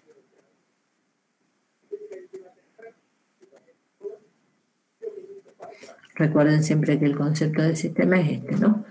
Entrada, proceso, salida. En este proceso hay elementos ¿sí? que cumplen funciones específicas con objetivos específicos, pero que se relacionan entre sí para el objetivo común. Vamos con los sistemas de apoyo a ejecutivos. Los sistemas de apoyo ejecutivos son aquellos sistemas que este, justamente dan respuesta a la parte em, alta de la pirámide organizacional. Entonces, volvemos. ¿Qué es lo que necesitan los ejecutivos o qué es lo que necesita el directorio? Y el, el directorio necesita información rápida, información resumida, información en general. El, detalle queda para la parte operativa. Entonces, los sistemas de apoyo ejecutivos pueden ser, ¿no? Sistemas, este, pueden ser sistemas administrativos, pueden ser sistemas transaccionales, pero que den este tipo de información. O pueden ser también otro tipo de sistemas, si no necesariamente son siempre sistemas, porque el ejecutivo o el, gerente para tomar decisiones no se apoya solamente en el sistema de su empresa. A lo mejor este, consulta otros sistemas.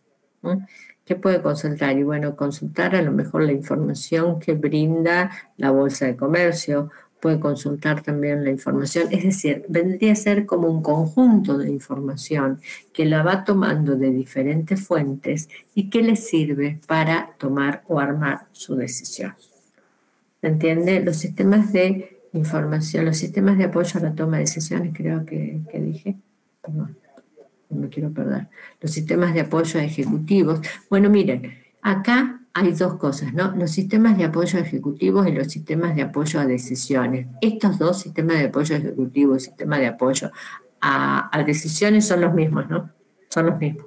O sea, porque el sistema de apoyo ejecutivo es aquel que sirve para tomar la información suficiente para tomar decisiones. ¿sí? El ejecutivo, ¿qué es lo que hace generalmente? siempre, está continuamente tomando decisiones para ver, bueno, cómo administrar su personal.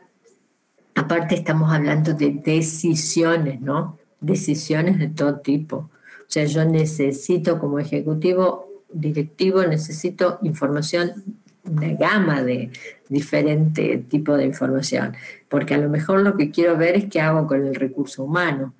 Entonces, bueno, voy a tener que apelar a todo tipo de informes o información que me sirva para saber cómo eh, administro o cómo logro la productividad, la mejor productividad del recurso humano. Eso no es fácil.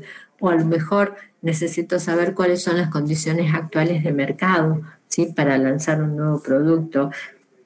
Es más, si me conviene en costos, a lo mejor necesito la información de costos para saber si este nuevo producto que quiero largar, que quiero lanzar al mercado, que a lo mejor es un mercado que está en condiciones de recibir este producto, pero mi empresa no está en condiciones económicas, financieras de eh, producir el, producto este que yo quiero lanzar al mercado, es decir, que tengo que ver, tengo que ver con costos, tengo que ver con producción, tengo que trabajar con compras, tengo que trabajar con la parte contable de, mi organización, tomar una decisión, y eso vamos a ver, ¿no? La toma de decisiones es un tema de esta materia. Eh, tomar una decisión tiene que ver con eh, obtener informes o información, sobre todo cuando se toman decisiones a ese nivel, de distintas o de, de, fuentes muy diversas, ¿no? Muy distintas. No siempre es mi sistema o el sistema que está funcionando en mi empresa. También van a tomar información de otros sistemas y se van a valer de otros informes para la toma de decisiones. ¿Hasta acá está?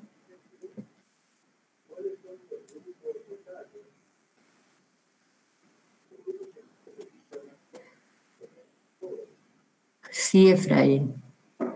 Sí, Efraín, tal cual. Dice, podrían decir entonces que este sistema reúne información de fuentes externas para brindar en forma clara y concisa el nivel ejecutivo. Exactamente, ¿sí? No solo es el sistema que está funcionando, sino cualquier otra fuente que me sirva para, para la toma de decisiones. Y recuerden, ya desde ya, que tomar una decisión es un proceso complejo. Tomar una decisión en los niveles gerenciales no es un proceso simple, es un proceso complejo. Que nos valemos de, como decía, diferentes fuentes, diferentes informes, como para que la decisión tenga el menor margen de error. ¿sí? Eso es lo que buscamos, el menor margen de error. Bueno, si estamos bien hasta acá, espera me gusta esto. Profe, Entonces, la diferencia entre un sistema transaccional y un sistema administrativo es solo el objetivo de su información, el objetivo de su información.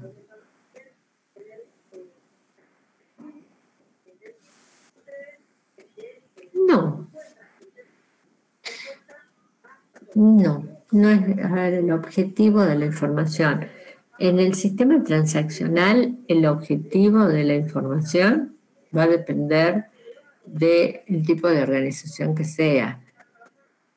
Porque puede ser, ¿qué pasa? A ver, el sistema transaccional, no sé, no sé bien si yo no entendía a qué te referís con objetivo, pero a ver, el sistema transaccional, ¿sí? Puede, eh, es general, lo pongamos así. El sistema transaccional, yo cuando hablo de sistema transaccional, es un sistema que, independientemente de lo que haga, toma datos en el lugar en donde, desde el lugar desde donde se cargan, los procesa, entrega información y hay una continua eh, comunicación usuario-sistema.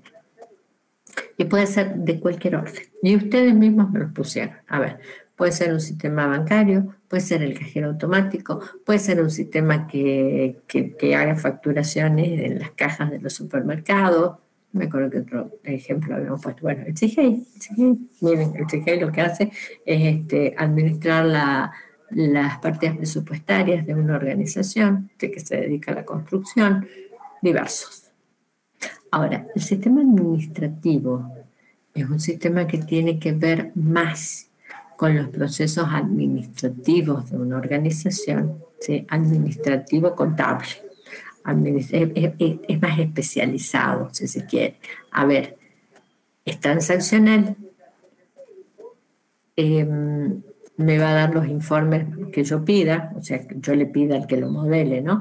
Eh, informes detallados, informes resumidos, pero como que está más especializado hacia lo administrativo. Esa es, lo, esa es la única diferencia, ¿sí? Sí, Natalia, Natalio, perdón. ¿Se entiende? De nada. Bueno, ahora sí les pido que mm, interpreten esto. Vamos a empezar con sistemas de información gerencial. Miren, este, este sistema que tenemos acá ha recogido datos de UFA. A ver si se me... Este sistema, que es un sistema transaccional, ha recogido datos de todos de todo lo que ha pasado en la organización. Veamos algo que tenga mucho movimiento. A ver. Este sistema ha ido recogiendo datos de todo lo que ha pasado en la organización. Entonces me dice, ¿qué es lo que pasó acá? Mire, resulta que rentas generales obras de emergencia. Miren, se han comprado cosas para obras de infraestructura vial.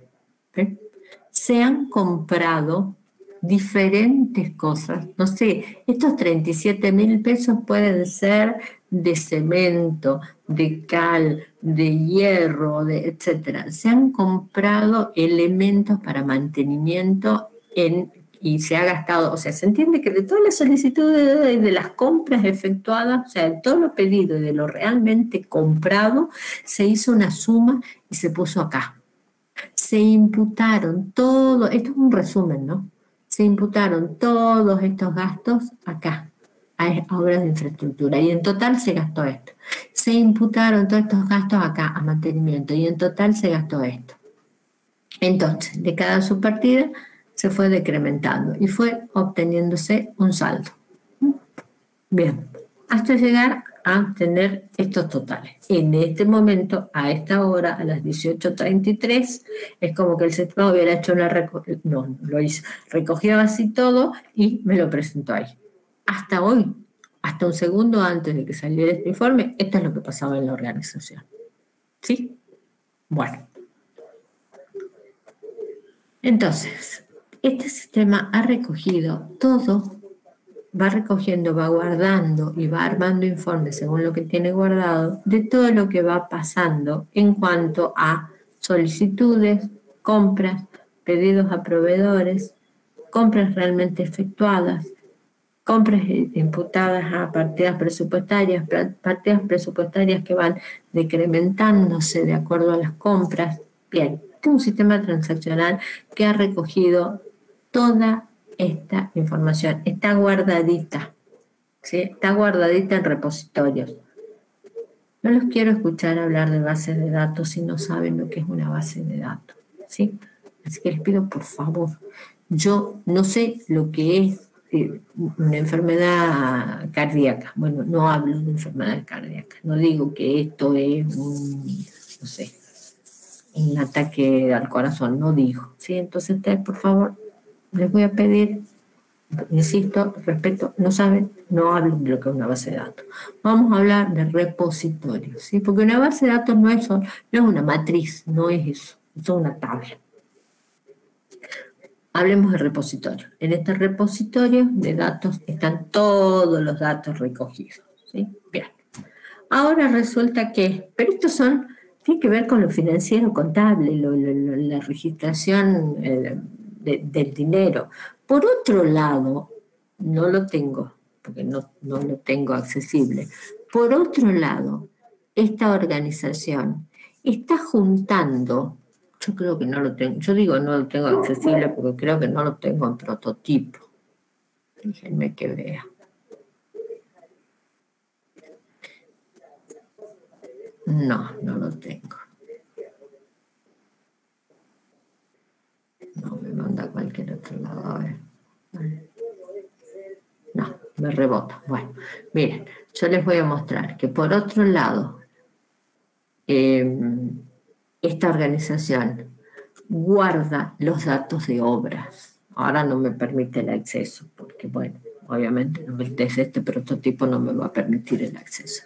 Por otro lado, en otro sistema, ¿por qué otro sistema? Y porque es distinto. Una cosa es controlar todo lo que tiene que ver con la parte económica financiera de la organización y otra cosa es el control de obras. A ver, ¿cómo se controla una obra? Bueno, una obra se le pone un monto inicial de obra. Ese monto inicial de obra después se va decrementando, ¿sí? después a medida que se va gastando se va imputando esta partida y se va decrementando el monto. A medida que yo gaste en mano de obra, en electricidad, en etcétera, etcétera.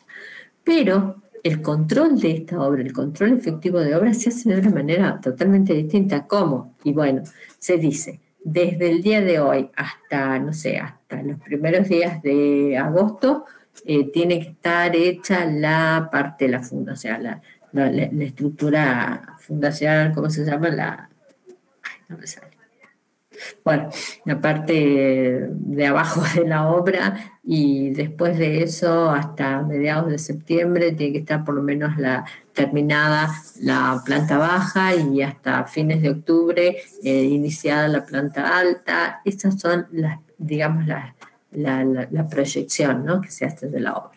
Entonces, tanto se hace un cómputo de presupuesto, tanto material va a ir para la primera parte y va a durar tanto tiempo, tanto material te va a costar tanto para la segunda parte, y cómo se va controlando la obra. Y bueno, a medida que se va certificando el trabajo, entonces va el inspector, certifica que, se haya, eh, que en esa fecha se haya llegado a lo que se ha planificado, entonces se certifica ese trabajo. Si hubo algún inconveniente, entonces se replanifica, se reprograma. Si se gasta más de lo que estaba pactado, se hace una eh, bueno, aparte, eh, a ver, yo pongo hoy un monto de obra de 2 millones de pesos y mañana me aumenta el cemento, eh, pasado mañana me aumenta la cal, entonces me aumentan los materiales mes a mes, entonces después se me tiene que hacer que, y bueno, se recalcula todo eso y se dice, bueno, a ver, hay vamos a tener que gastar más porque hubo una suba de esto, de eso, se recalcula eso y se hace un, un recertificado, una cosa así no se llama así, pero eso es lo que se hace. Entonces, el control efectivo de la obra va por otro lado. por eso, como va por otro lado totalmente distinto, se hizo otro sistema. ¿Se entiende? Este es uno. Para control de obras se hizo otro. Ahora resulta que el tomador de decisiones de esta organización necesita saber qué obras de todas las que están cargadas no cumplieron con los plazos establecidos, a qué partidas se imputaron los gastos de las obras que no cumplieron con los plazos establecidos y cuánto más se gastó en cada una de esas obras.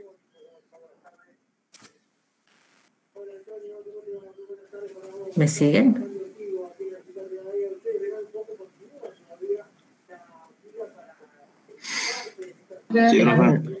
Bien. A ver, alguno de los informáticos que me diga qué hago.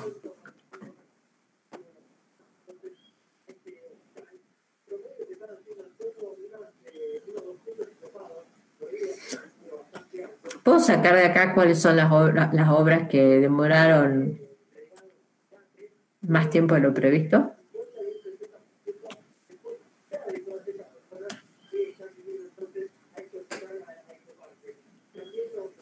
De acá en este sistema puedo sacar las obras, cuáles son las obras que demoraron más del tiempo previsto.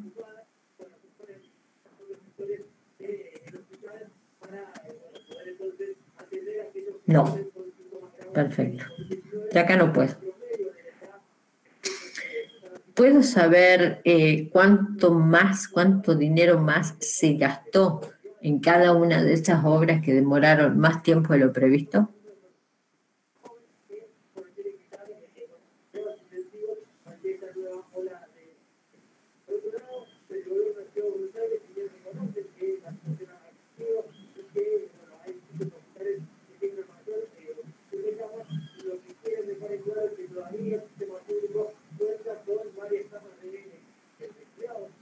No. ¿De este sistema? Estoy preguntando sobre este sistema, ¿no? Vamos a saber cuánto más se gastó en aquellas obras que demoraron más tiempo de lo previsto. Si no tengo acá el dato de cuánto tiempo más demoró cada una de las obras. Eso, eso lo tengo en el otro sistema, en el de control de obra. Me pregunto a algunos de los informáticos, ¿qué hago? ¿Qué hago? Le tengo que dar respuesta, ¿no? El director, el directivo, el gerente me pidió eso, ustedes no pueden no dar respuesta, tienen dos sistemas, tengo dos sistemas. Eh, estás administrando dos sistemas, me has desarrollado dos sistemas. Tengo cuánta gente trabajando sobre los sistemas y no me podés decir eso. Con eso se van a enfrentar los informáticos que se dediquen a sistemas todos los días de su vida. Y espero que cuando ustedes salgan a trabajar entiendan un poquito más qué es lo que hacemos y no nos traten como eh, expertos en Word y en, y en Excel. ¿Qué harían ustedes para darles respuesta? Si no los echan, ¿no? Los van a echar si no les dicen, no le dan la respuesta al, al directivo. ¿Qué harían?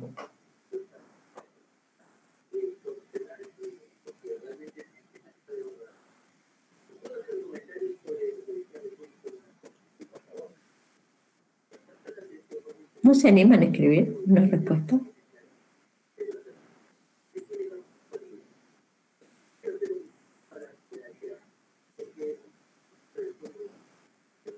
¿Manejan SQL?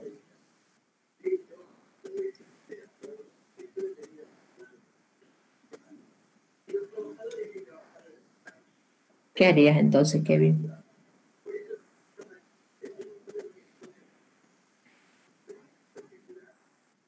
Bien. Listo. ¿Qué, es lo que, ¿Qué es lo que tienen que hacer? O sea, para poder dar respuesta a eso, lo tienen que trabajar les, cuento a, los chicos de industrial, es algo que es peligroso, o sea que no es seguro. Kevin me dice, haría una consulta. Sí, ¿qué es lo que hay que hacer? Hay que buscar en esta base de datos fuera del sistema ¿eh?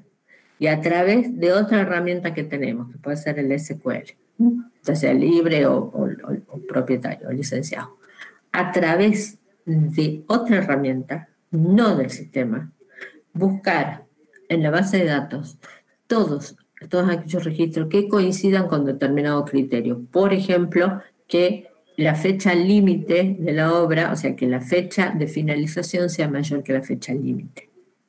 Buscaría todo eso, tendría que entrar a las bases de datos del otro sistema y buscar de estas obras qué es lo que se ha gastado y hacer una sumatoria de todo lo que se ha gastado. O sea, es un trabajo manual a través de una herramienta distinta al sistema, a, las funcionalidades del sistema, que la tiene que hacer obviamente el informático, ¿sí? con capacidad para trabajar con una de esas herramientas de consulta, armar el informe, porque aparte no es solamente consultar, es armar el informe, ¿sí? Y que ese informe pueda ser entregado. Eso nos lleva tiempo, nos lleva un tiempo de análisis, arriesga la seguridad de los datos muchas veces porque me puedo mandar alguna macana en el SQL y estoy trabajando con la base de datos cruda, ¿sí? o sea que tengo que tener muchísimo cuidado en las, en las acciones que hago eh, y, revisar el informe, obviamente. A ver, es todo un trabajo y al día siguiente se le ocurre otra cosa y mañana se le va a ocurrir otra y pasado otra y voy a tener que estar dando respuesta y resulta que tengo dos sistemas funcionando. Entonces, ¿qué pasa? Para aquellas, aquellos, aquellas organizaciones en donde los sistemas transaccionales funcionando, que pueden ser dos, tres, cinco, los diferentes sistemas transaccionales que están funcionando, que a través del tiempo de carga y de procesamiento han logrado tener importantes repositorios de datos, ¿sí? Pero que los tienen en forma individual y no pueden dar respuestas a preguntas que combinan las acciones o las funciones de muchos sistemas. Para ese tipo de casos, en donde surgen estos interrogantes y es necesario darle respuesta rápido, nosotros armamos unas soluciones informáticas, ¿sí? Por favor, la gente industrial ni se haga problemas de esto. Jamás le voy a preguntar sobre Data Warehouse porque no les compete. Los informáticos armamos unos repositorios de datos que son soluciones a este tipo de casos. Como información les digo, se llaman, por ejemplo, hay una estrategia de repositorio de datos que se llama Data Warehouse, hay otras más. Y armamos sistemas de información gerencial con inferencias, preguntas específicas, preguntas determinadas que acceden a este repositorio, a esta solución de, mantenimiento, solución de, digamos, de, almacenamiento de datos que acceden y obtienen a través de consultas estas respuestas, respuestas a estos interrogantes. Entonces, un sistema de información gerencial está muy relacionado con lo que nosotros llamamos inteligencia de negocios o business intelligence. Un sistema de información gerencial está sumamente relacionado con inteligencia de negocios. Y no existe si previamente, no puede existir, si previamente no han existido en esta organización sistemas transaccionales que han logrado grandes repositorios de datos. Entonces, con estos grandes repositorios de datos de los sistemas transaccionales, armamos una solución de almacenamiento que sirve para dar respuestas a preguntas ocasionales ¿sí? que hacen los tomadores de decisión. Eso es un sistema de información gerencial. Un sistema de información gerencial no existe si previamente no se han cargado las bases de datos transaccionales. Y un sistema de información gerencial está vinculado con inteligencia de negocios o business intelligence que trabaja sobre consultas específicas que se hacen a estos repositorios que fueron armados con ese propósito. ¿Se entiende lo que es un sistema de información gerencial? Sistema de información gerencial. Yo no puedo hacer un sistema de información gerencial en un lugar, en una organización que no tenga previamente sistemas de información transaccional. No puedo, no existe. La inteligencia de negocio no la puedo armar de la nada. Tiene que haber previamente bases de datos transaccionales. A partir de ahí, recién armo un repositorio que les digo puede tratarse de un data warehouse u otro repositorio ¿Qué me sirve para hacer estas consultas específicas? Que por supuesto, a ver, ya las he programado, ¿no? Yo ya fui, yo ya fui, charlé con la gerencia y le dije, bueno, a ver, ¿qué tipo de informes querés vos que estén, que, que me combinen estas cosas? Entonces ellos me dicen, bueno, inteligencia de negocio no es que todo sea divina, sino que ellos me dicen, bueno, mira, nosotros generalmente vamos a necesitar esto, aquello, lo otro, en base a este requerimiento es que yo armo las consultas para este repositorio. Eh, podría dar un ejemplo. Esto que te acabo de decir. A ver, hay un gerente que necesita conocer esto que decía. Yo el gerente necesita saber qué, qué obras no finalizaron en tiempo, en los tiempos estipulados, y cuál es el monto de dinero que se gastó de más en estas obras con el sistema que yo te acabo de mostrar, que es el CIGEI, no le puedo dar respuesta a eso. ¿Por qué? Y porque acá no tiene nada de obra. Hay otro sistema transaccional que va guardando todo lo referido a las obras. Entonces, ¿qué tendré que hacer yo? Tendré que tomar este repositorio de datos del sistema de obras, este repositorio de datos del sistema de, transacciones, este, de solicitudes y compras y todo eso, armar una solución, o sea, armar un repositorio con determinadas características para que recién sea, perdón, para que sea este el que me sirva para acceder y dar respuestas a preguntas que tienen que ver con combinación de informes de dos o más sistemas.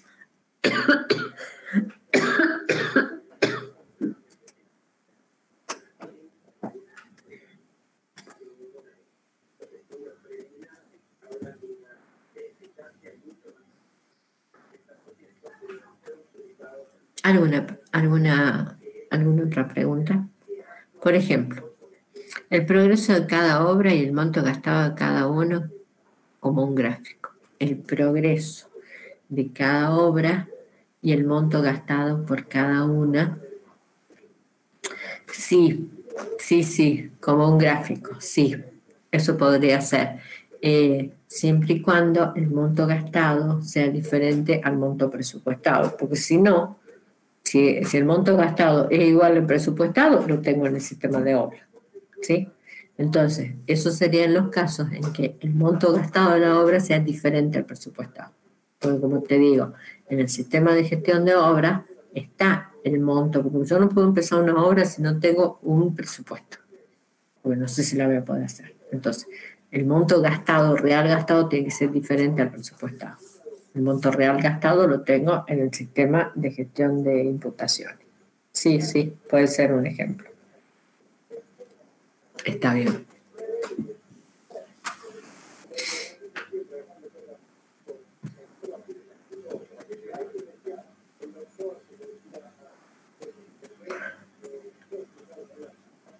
Hay estrategias también, ¿no? Lo único que tenemos que armar es este, el repositorio nosotros y hay, hay otras herramientas que, me permiten el Business Intelligence. Hay una herramienta que es este, de software libre que se llama Protege. Protege me sirve para acceder, o sea, cuando yo tengo el repositorio armado como un cubo en tres dimensiones de datos, eh, Protege me ayuda a hacer todas las relaciones como para eh, dar estas respuestas, ¿no? De, de, están relacionadas entre sí.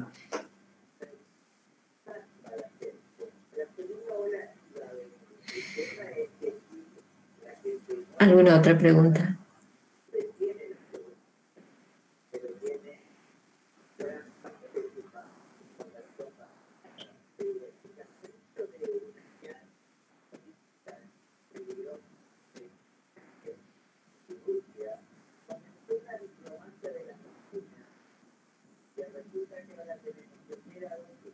¿Ninguna otra pregunta? ¿No tienen ninguna duda? sobre lo que hablamos antes, sobre este sistema. Bueno, hemos visto sistemas transaccionales, sistemas en tiempo real.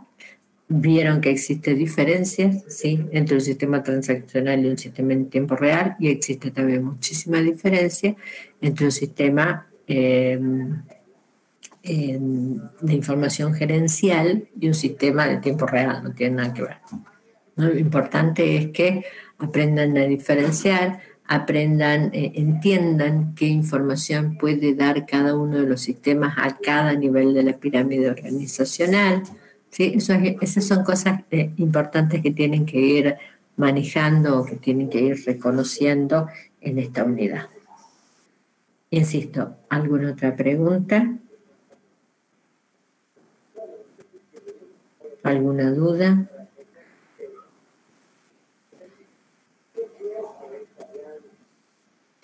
Bueno, queda entonces que repita que la actividad que está en el aula virtual no es optativa, es obligatoria para que la realicen cada uno de los grupos, se tienen que organizar, establecer roles, ver quién va a ser parte de qué dependencia de, esta empresa, trabajar con el CIGEI, experimentar y redactar. No quiero, a ver, no cometan el error de explicarme el sistema. El sistema lo hice yo, no me tienen que explicar.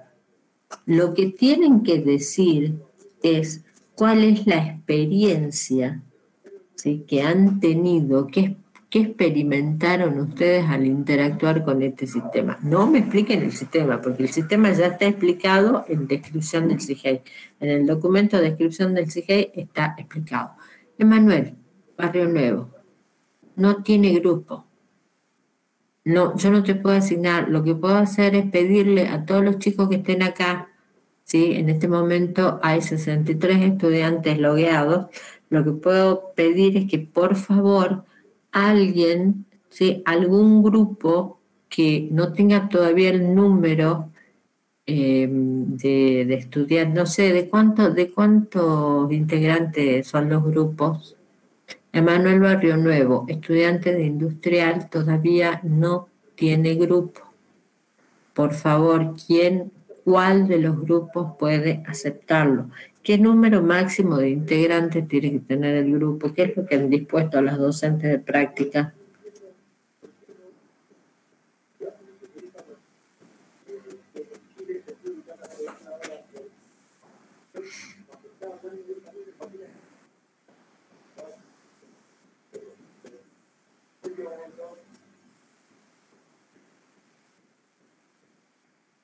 Entre 7 y 8. Bueno, a ver, un estudiante de industrial, un estudiante de industrial, Emanuel Barrio Nuevo, no tiene grupo. ¿Qué grupo puede aceptarlo? Ya, así ya queda conformado. Pobrecito, miren, ve, está triste. Acéptenlo en algún grupo.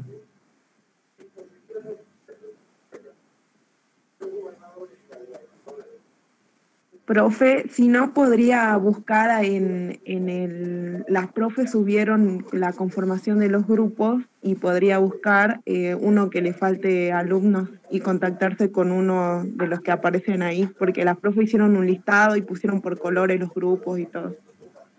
¿Y dónde lo subieron? Al aula. Ajá, ¿cuándo fue eso? Yo estuve trabajando ayer con el aula y no lo vi. Eh, o bueno, no sé, hasta la semana pasada estaba. Ah.